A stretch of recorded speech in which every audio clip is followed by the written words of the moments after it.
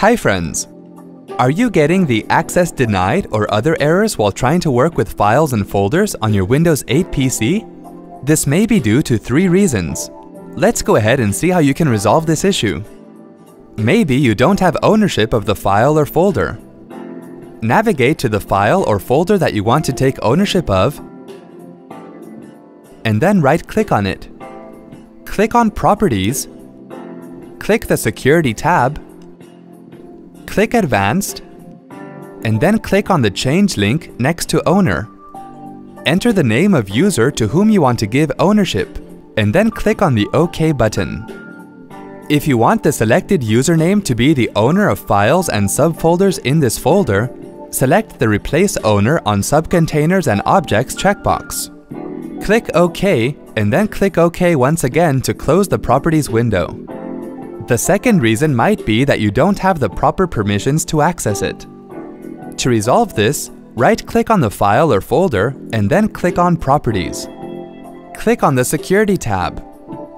Under Group or User Names, click on the username whose permissions you want to check. To change permissions on a file or folder, click on the Edit button.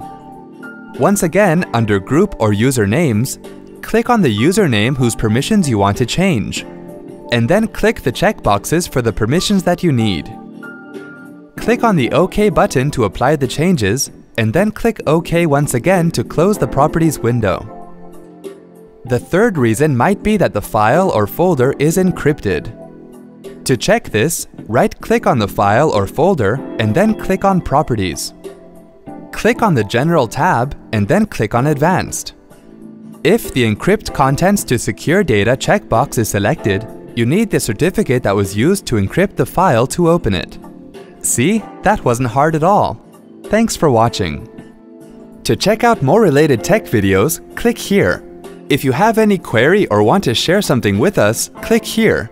To get iYogi tech support, dial toll-free numbers. To stay empowered technically, subscribe to our channel.